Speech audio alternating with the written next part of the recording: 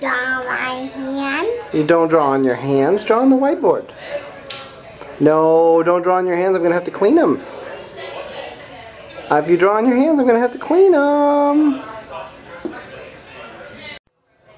Can you draw Alex on the board? Oh, I didn't.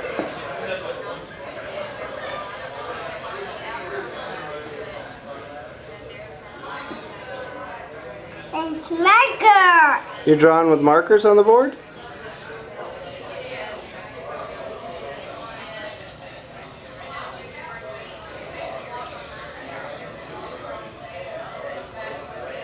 What are you drawing, Alex?